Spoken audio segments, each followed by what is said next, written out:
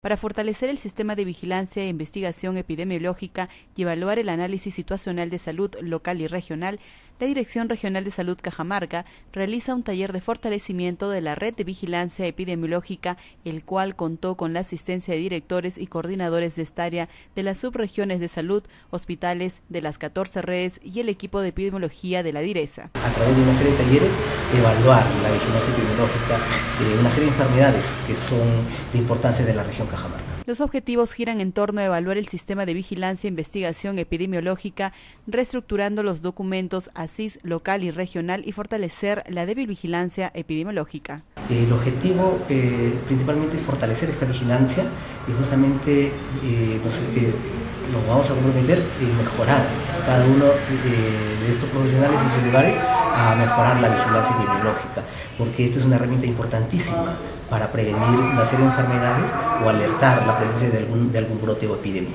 Eh, la inquietud de este taller es justamente identificar algunas necesidades. ¿no? Eh, sabemos que hay recurso humano nuevo, eh, queremos identificar necesidades de capacitación para fortalecerlos, tenemos también, estamos identificando necesidades de equipos de cómputo, porque pues es importante para la notificación tener eh, acceso a los medios de comunicación, sobre todo teléfono, internet, y, si todas estas necesidades queremos eh, eh, en, este, en, estos talleres identificarlos para luego poderlos abordar.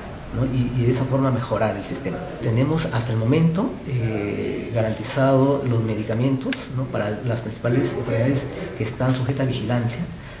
de igual forma, este taller nos va a permitir también identificar algunas brechas que pudieran existir. Este trabajo es importante para prevenir una serie de enfermedades que se pudieran presentar o alertar adecuadamente y a tiempo la presencia de algún brote epidémico que se podría dar, como el que surgió en la provincia de Chota, el cual ya está siendo tratado y controlado. Son unos llamados a estar atentos, alertas eh, y, obviamente involucrarse junto con la población para que ayuden a, notificar casos que se presenten en las comunidades, sobre todo en las más lejanas el tema de, peste en, Chota, que, sí se, está abordando adecuadamente.